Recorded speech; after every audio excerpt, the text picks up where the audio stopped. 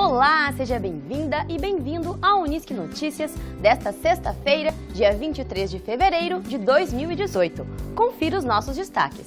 Um roteiro repleto de histórias. Conheça a Rota dos Casarões, em Sobradinho.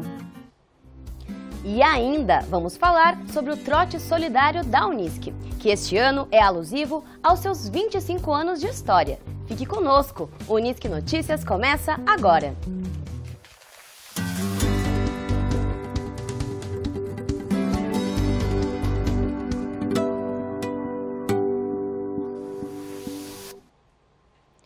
Agora que o carnaval passou, a gente tem aquela sensação que o ano realmente começou. E para nos despedirmos definitivamente de 2017, você confere a última das três reportagens mais vistas pelos nossos espectadores neste ano. Spoiler! Ela foi gravada num ponto turístico da cidade que foi visitado por um artista global. Já sabe do que eu estou falando? Então, assista! Grandiosa aos olhos dos que aqui chegam e têm a oportunidade de admirá-la. Construída em um dos locais privilegiados de Santa Cruz do Sul, a Catedral São João Batista é um dos principais pontos turísticos da cidade. E hoje nós vamos lá para cima te mostrar o relógio da Catedral.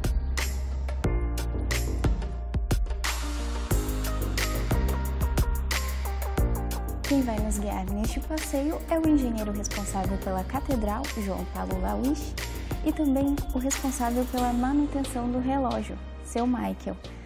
Tudo bem? Sejam bem-vindos ao Unisque Notícias. Vocês poderiam comentar então um pouquinho da história desse relógio, da vinda dele a Santa Cruz do Sul? Sim. É, o, o, relógio, uma coisa interessante, ele veio antes da construção da catedral. Ele veio para a igreja matriz que estava construída aqui na frente que foi na época do Império, né? imagina a idade dele, né? E, e aí depois eles, com todo cuidado, eles transportaram, fizeram uma plataforma lá em cima para colocar. Então, podemos, podemos subir ir. até ele? Okay. Muito legal.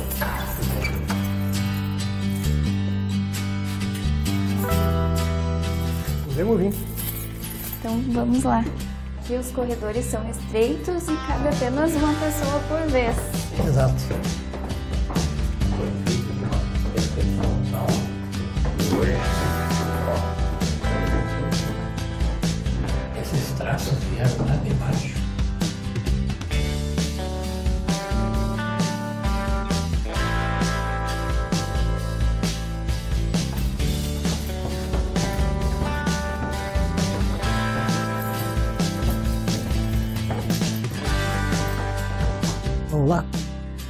Vamos adiante, então. Agora nós vamos nos direcionar a outra escadaria, então, até chegar ao nosso ponto. Ok, vamos lá.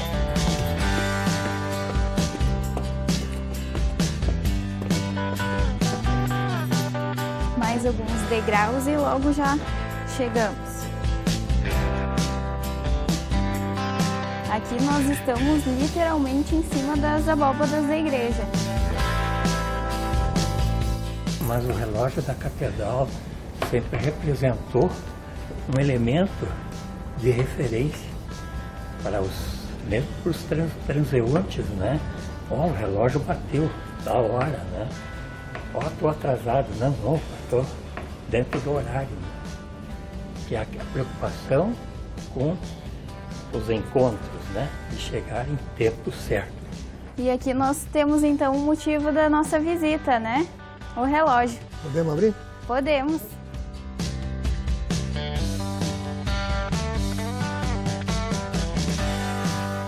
Tem um cuidado todo especial com ele, fica todo lacrado. Na verdade, essa visita é uma coisa mais recente. Né? Quem ficava aqui era o, o relojoeiro e ele, né? Né? Quando no máximo o padre lá perguntava, e aí, como é que está o relógio? Está tudo bem e tal? E com qual frequência o senhor vem fazer a manutenção nele? Olha, quando um, eu sempre controlo pelo Observatório Nacional e quando dá um desvio de 15 segundos, uma coisa parecida assim, eu venho e já corrijo. Ah, Para mim não, não, não é o ideal, mas a, a gente pode ter certeza que 15 segundos para mais ou para menos é o máximo tolerável aqui.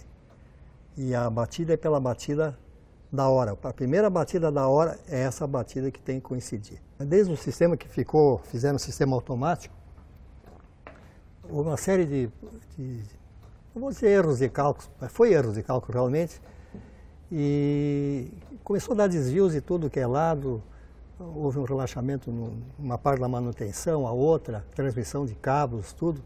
Quer dizer, sempre tinha uma coisa que não funcionava certo, ou tinha hora adiantado, atrasado, ou parado. Uma coisa era certa, a hora certa não tinha mais nunca. Né? Daí, resolve, daí nós resolvemos, através do Antônio Kretzmann, que deu a ideia, a gente queria precisão do horário que às três horas da tarde tem o terço da misericórdia aqui na igreja e se espera a batida. Então vamos fazer precisão. O horário é tão preciso que a gente pega pelo Observatório Nacional por rádio. E vocês percebem que hoje as pessoas ainda param para olhar para o relógio da igreja? Elas se orientam através do relógio da igreja? Eu acredito que sim.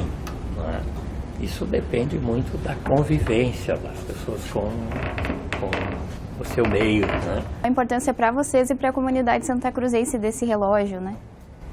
Bom, é um ponto de ligação e de respeito, diria, aos nossos antepassados no presente, porque o relógio é para dar a hora certa, onde? Agora.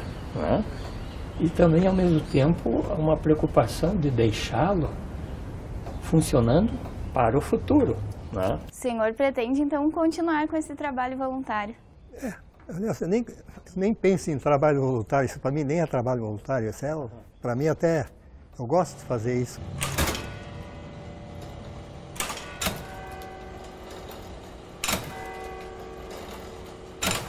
E é com esta vista linda de uma das torres da catedral que encerramos o nosso passeio, a 35 metros de altura.